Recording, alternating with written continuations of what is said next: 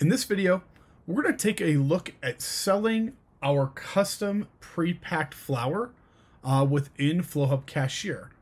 Now, this is Flowhub's newest feature that allows you to package your flower in non-standard weight units or the ability to weigh heavy. So you could have like a 3.8 uh, eighth or like a 7.2 quarter or however you'd like to package your flower. As you can see, I'm in Flowhub Cashier. I'm going to pick up Howland Reed from our queue over here to the left. And then I'm going to go to my all products and take a look for my packed flower.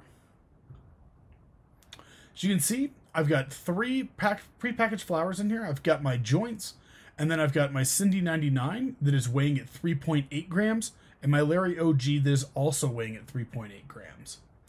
Now, as I add this to my cart, you'll see that the cannabis counter is going up, uh, and it is taking the 3.8 grams into consideration for affecting the cannabis counter and also making that transaction. I'm going to select collect payment, put my total cash in here, followed by my PIN, and then check out.